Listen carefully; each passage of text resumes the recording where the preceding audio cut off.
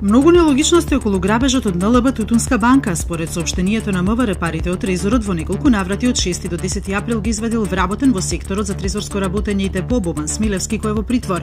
Иако неколку дена никој не забележал дека фалат пари од пратките кои банката ги праќала и од трезорот, МВР успеало да обезбеди докази дека осомничениот бил свесен и имал намера да ги украде парите.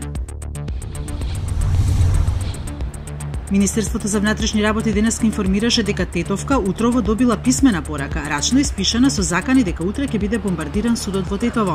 Од полицијата објаснува дека единицата за антитероризам на МВР извршила комплетно пребарување на внатрешноста на објектот и просторот околу, но не биле пронајдени никакви експлозивни или други средства.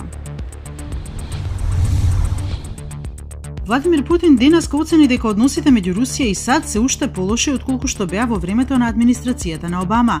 Изјавата дојде по средбата на шефовите на дипломатиите на Русија и на САД Сергеј Лавров и Рекс Тилерсон во Москва.